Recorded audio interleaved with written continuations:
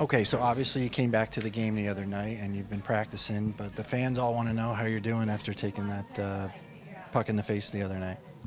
I'm doing good. I mean, just uh, a little sore and uh, swollen, but uh, could have been much worse. I think I got uh, pretty lucky and fortunate, so you know, hopefully it doesn't happen again. It's just one of those wrong place at the wrong time type of things. yeah, I mean, it just happened. I just couldn't even react. It was like a split of a second, and the puck was in my face. So it was, uh, uh, you know, one of those things that happened in the game, and everything happened so quickly, and uh, you know, just have to move on.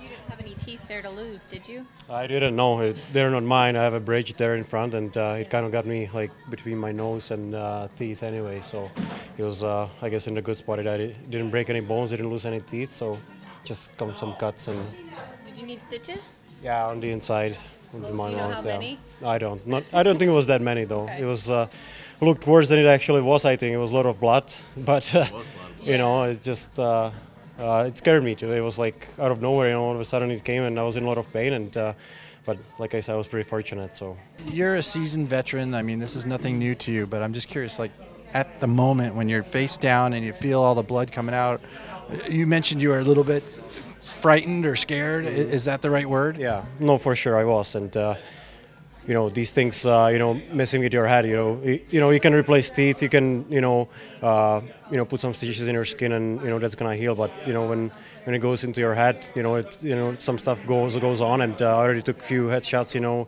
And uh, you, you never know, you know. That's, that's the thing that you, you're worried about, and uh, it can be a long term, you know, something there is nothing you can do about. So that's that's probably one thing that uh, you know goes through your mind, and uh, you wanna be healthy, and you know that's uh, you know, right there, like like I said, I dodged a bullet this time, and uh, hopefully, it, you know, it doesn't happen again.